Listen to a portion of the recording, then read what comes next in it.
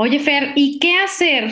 ¿Qué podemos hacer para dejar de procrastinar? Es un tema de conciencia emocional, de conocernos y en la medida en que nos conocemos y sabemos como cuáles son estas eh, características de nuestras emociones o cuáles son estas las emociones que más vivimos o que más tenemos al momento de enfrentarnos a situaciones que no nos gustan, o sea, identificar la emoción de la duda, la frustración, el aburrimiento, de dónde vienen, qué, de, por qué lo está generando, ¿no? Conocer nuestras fortalezas y nuestras debilidades para entonces decir, ok, yo soy una persona, y cuando hablo de conciencia y de identificar, va desde, y como lo, lo, enseñamos a los niños y también va con los adultos, los detonadores, es decir, o las sensaciones físicas que, que yo empiezo a tener cuando me enfrento a algo que no me gusta y que posiblemente entonces voy a posponer. Por ejemplo, hacer, a mí me pasa, mes a mes, y eso que yo me considero una persona muy organizada,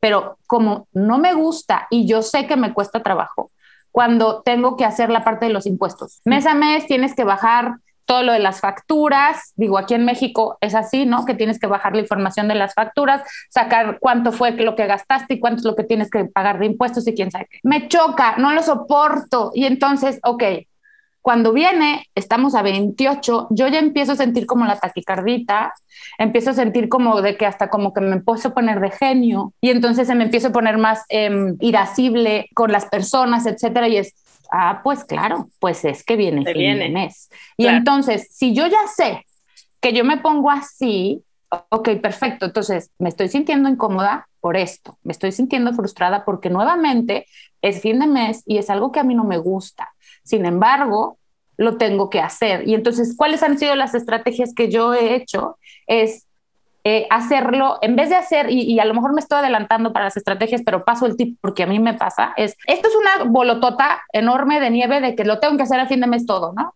Ah, bueno, ¿y qué tal si lo voy haciendo de cachito en cachito, de pedacito en pedacito?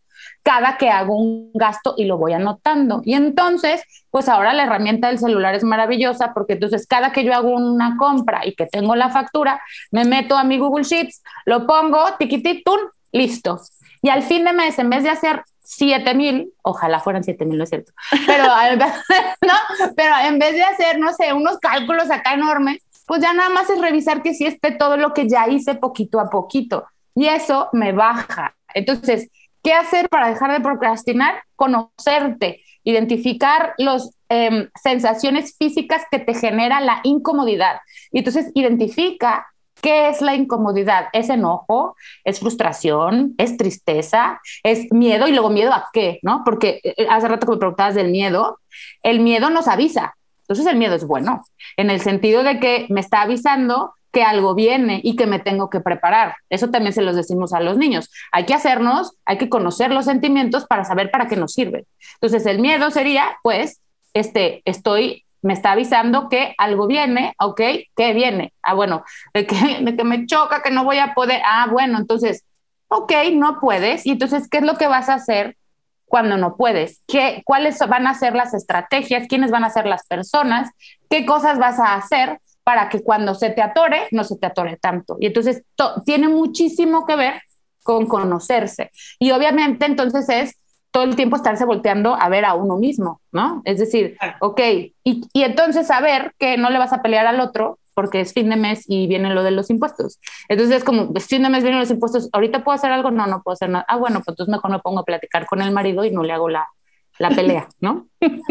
Y luego, por ejemplo, a mí esta semana me ha pasado, ahora que mencionas esta parte de que te tienes que conocer un poquito más, soy por lo general planeo o planifico mi semana con horarios tiki tiki tiquitán, soy de agendita de así old school. De, las mías. Papelito y la sticker y así, ¿no? Y bueno, se me enfermó el peque y ha estado en caso, entonces para mí empiezo a sentir como esta ansiedad y este estrés pero digo, ya sé por qué es, porque no me va a salir las cosas como yo quiero, como las he tenido planeadas. Y digo, bueno, pues no pasa nada. O sea, es como empezar también un poco a priorizar, a decir, bueno, pues no pasa nada si no voy a regresar. Compramos un termómetro desde pistolita y lo he querido regresar desde, lo compramos el fin de semana pasado y no he podido ir dije, bueno, no pasa nada, ya iré el sábado con mi marido, que me pueda apoyar con el niño, o sea, que lo que sea. Y hay cosas que no tienen tanta importancia como otras, ¿no? Entonces, para mí mi prioridad, pues es el niño, es, no sé, hacer de comer, es algunas cosas de la casa y bueno, lo, lo que venga, pues voy viendo cómo lo voy cambiando, ¿no? Pero eso es a medida que he estado conociéndome y conociendo acerca de este tema y que no pasa nada, o sea, sí llega el momento en que te sientes un poco desbordado y frustrado, pero cuando caes en la cuenta dices, a ver, de todas maneras todo va a estar bien, hay que hacer lo primero que está como que lo más importante priorizar y, ser flexible. O sea, que no pasa nada con ser flexible, ¿no? Te voy a, ahí te voy a dar dos, eh, cuando te escuchaba, hice notas porque dos tips ahí. Una, eh, efectivamente, como dices, es conocerse y entonces es, eh, me encantó que dijeras la parte de la flexibilidad, es decir, porque luego cuando somos como tan cuadrados de que la agenda, te lo digo porque me puedo relacionar con lo que estás diciendo, porque yo soy igual, soy de que de 9, de 9 a 9.15 hacer la llamada al fontanero de no sé qué, a las 9.25, a bla, bla, bla, ¿no? Entonces, ¿Qué pasa cuando, o sea, está bien porque entonces te, estableces la meta o la escribes, ¿no? ¿Qué es lo que quiero lograr en el día? Pero entonces tener esta capacidad y esta flexibilidad de moverlo como fichas de, rompecabezas eh, según, según la disponibilidad que se tiene, ¿no? Entonces, em, eso sería buenísimo, ¿no? Que es trabajar con ¿sí? Ser organizado, poder anotar, por ejemplo, todos tus pendientes. Yo después cuando hago, igual después podemos hablar en otra ocasión de esto, cuando yo doy estas sesiones como de cómo manejar la agenda, hablo de esto, ¿no? De identificar las tareas, identificar los proyectos, priorizar, etcétera, ¿no? Pero esto ya nos estamos metiendo en otra cosa. Pero luego dijiste, no pasa nada. Te voy a dar un tip ahí. Cuando nosotros decimos no pasa nada, estamos negando lo que está pasando y nos estamos, no nos estamos validando la emoción. Entonces, decir no pasa nada no ayuda, porque sí está pasando. Es decir, te sientes un poco ansiosa porque no has ido a hacer algo que para ti era parte de las cosas que ibas a hacer esta semana. Entonces, más bien, en vez de decir no pasa nada, es identificar si lo que estás pensando te es funcional o no. Y entonces, eso que estás pensando y estás diciendo, es decir, a ver, esto que estoy pensando me sirve no, pues no me sirve, ok, entonces no es funcional, lo voy a convertir en funcional. Entonces, en vez de no validar lo que siento, es decir, sí lo valido, pero lo transformo. Por ejemplo, no he ido a regresar el termómetro. El, la vieja ahí sería, no pasa nada, no es importante.